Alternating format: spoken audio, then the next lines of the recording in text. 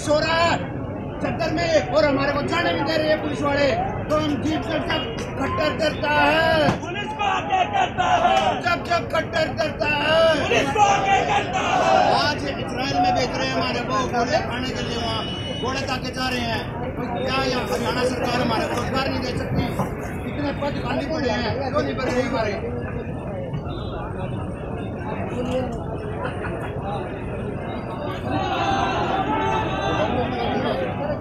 हैं और बैरिकेड तोड़ेंगे और सीएम हाउस का घेराव करेंगे या तो हमारे को जवाब दे कट्टर सरकार या फिर युवा अपने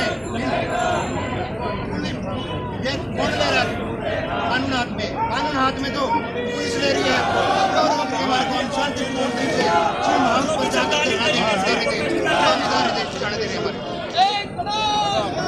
दिया जाएगा और खट्टर सरकार को देखते हैं।